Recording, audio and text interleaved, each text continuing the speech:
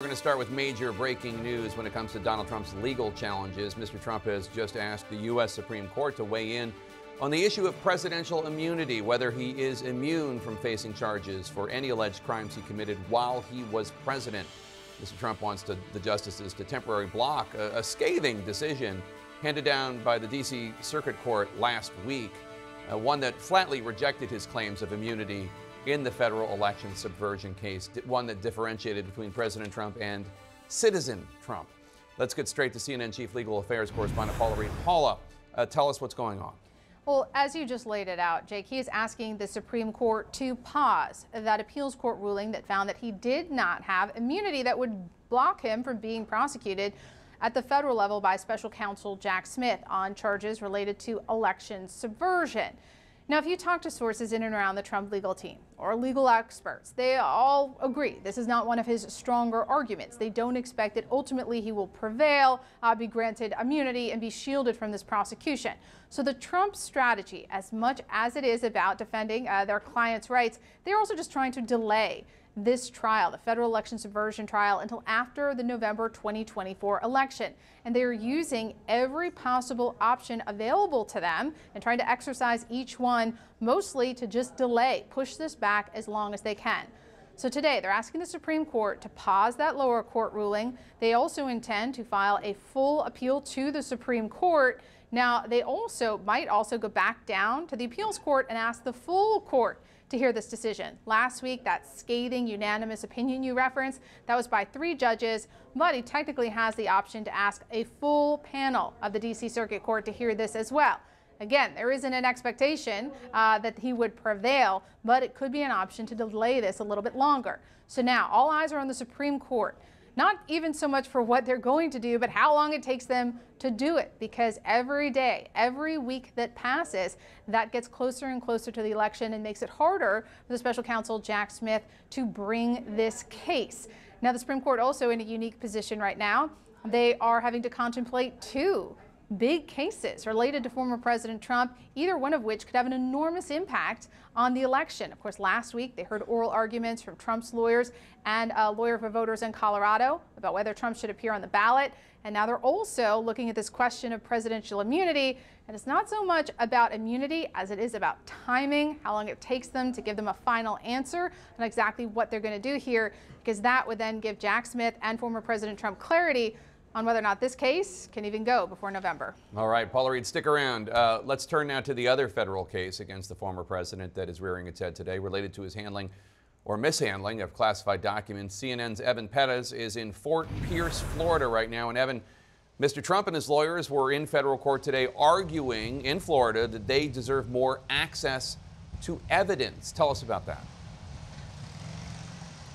That's right, Jake. This was a hearing that was behind closed doors. It was in secret uh, because it has to do with classified documents. This is, of course, uh, at the center of this case that has been brought against the former president uh, for mis allegedly mishandling classified documents uh, at Mar-a-Lago. Now, uh, what he was here, he was here with uh, with his lawyers meeting with the judge for about five hours uh, earlier today. Right now, uh, we believe the, uh, the special counsel and his team, uh, the, the, government's uh, lawyers are in there now having their turn talking to the judge.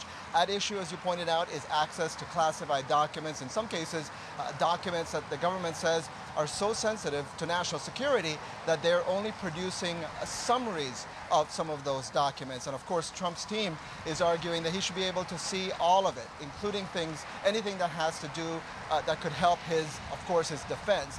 Uh, as, you, as you noted, uh, uh, Jake, you know, this is also about the timing because when we, we don't know when we're going to hear from this judge, but certainly in the next few weeks, there are going to be a, key, a number of key motions by both sides that'll determine whether this May schedule that the judge has set for a possible trial in the Mar-a-Lago case, whether that really stays on the calendar. The former president didn't speak to anybody when he came in. He did wave to a crowd of supporters. We saw the campaign handing out signs to some of those supporters outside the court, Jake.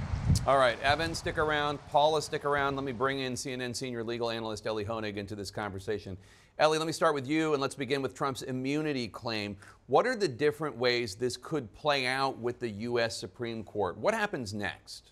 So, Jake, there's a lot of procedure happening here, but the real world impact is this is almost certainly going to dictate whether Donald Trump faces trial on Jack Smith's election case before or after the 2024 election. Now, what Donald Trump's team has just asked the Supreme Court to do is issue a stay, which is essentially a pause, saying everything should be put on pause so we can pursue our full appellate rights in the Court of Appeals and then the Supreme Court.